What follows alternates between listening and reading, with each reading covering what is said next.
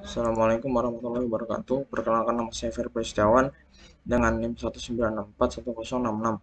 Pada video kali ini saya akan menjelaskan langkah-langkah pembuatan exercise ke-40 dari aplikasi Vision 360. Langkah pertama kita create sketch. Kita pilih bagian top plan karena kita akan menggambar dari bagian atas. Create rectangle, center rectangle di sini.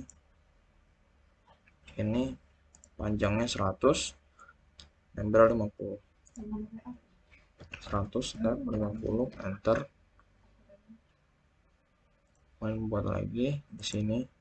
Panjangnya 60 tab lebar 10 enter. Dari ukuran ini ini 10 ini 60 lanjut buat lagi satu lagi. 60 tab 10 enter. Kasih dimension dari sini 5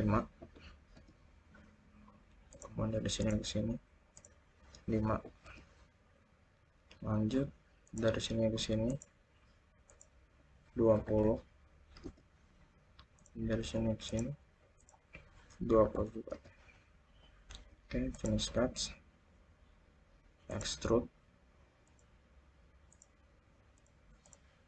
extrude yang ini.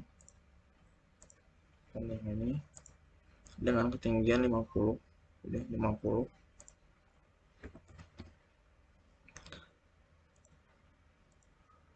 extrude lagi yang ini. Dengan ketinggian 10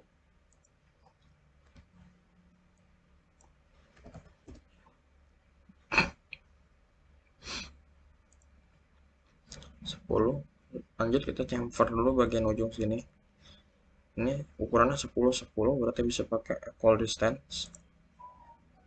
Chamfer. Ini equal distance. Sama sini 10 ntar. Oke.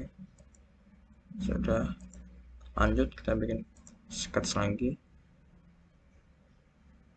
Kita ke tengah sini oke create project pilih ini oke. Bikin lingkaran. Di sini. Diameternya 50 sama 25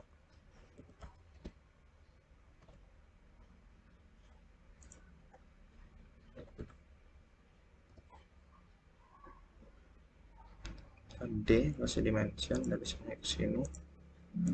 30 tuh kemudian dari sini sini. 40 sudah betul sudah pas. Finish sketch extrude ini ganti jadi simetri. Tarik sini. Ini join.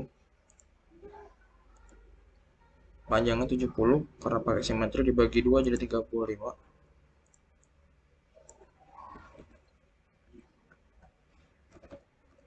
35 enter oke lanjut. Extrude lagi. Bisa dinyalakan pilih yang ini ubah jadi simetri. Tarik ya ini cut. Oke. Lanjut lagi. Extrude lagi. Bagian ini ubah jadi simetri. Ini jaraknya 20 bagi dua jadi 10 jadi 10 simetri oke.